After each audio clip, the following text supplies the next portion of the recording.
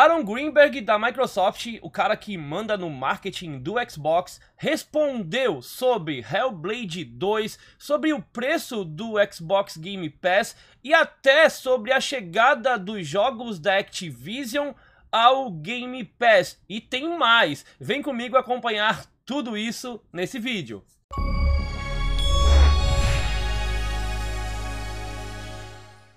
Seja muito bem-vindo a mais um vídeo aqui no canal Só Xbox. Notícias e dicas rápidas sobre Xbox você encontra aqui, então para não perder nada, aproveita, deixa o like no vídeo, vai se inscrevendo também aqui no canal e já ativa o sininho com todas as notificações.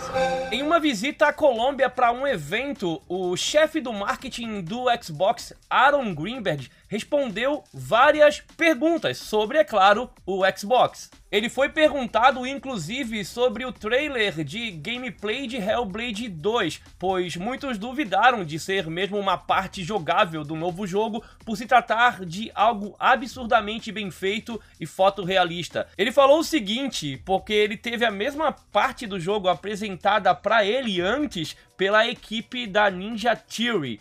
Você não está nos mostrando uma gameplay, estamos apenas assistindo a uma cutscene. O desenvolvedor respondeu para ele: Não, olhe, estou controlando a Senua eu mesmo. Provavelmente o cara estava mostrando o controle para ele nas mãos ali. É, realmente é difícil de acreditar que esse jogo está tão impressionante e que chegará direto no Game Pass, no Xbox Series S e X e PC e também poderá ser jogado via nuvem pelos assinantes do Ultimate. Perguntaram também o seguinte para ele: por que o xCloud está demorando tanto para chegar na América Latina, sendo que ele está em beta no Brasil, está disponível já, mas em beta e ainda não liberou para todos usarem direto pelo console?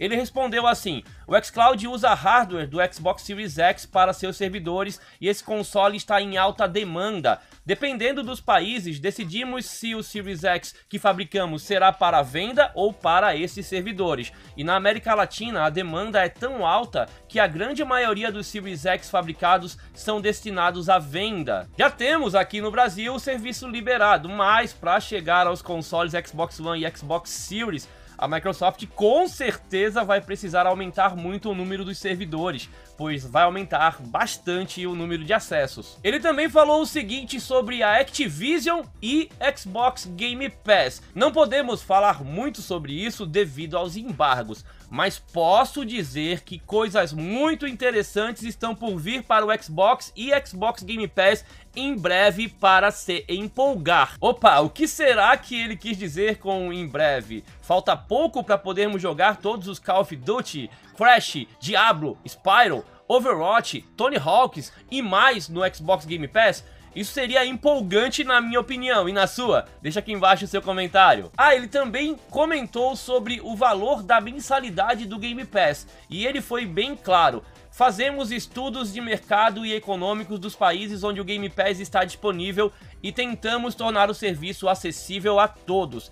Em países como a Colômbia, por exemplo, devido à inflação e outros, baixamos drasticamente os preços. Achamos isso importante. A inflação aqui no Brasil não é muito diferente disso. Será que rolaria uma queda de preço por aqui? Na minha opinião, só não aumentando já estaria ótimo. E na sua?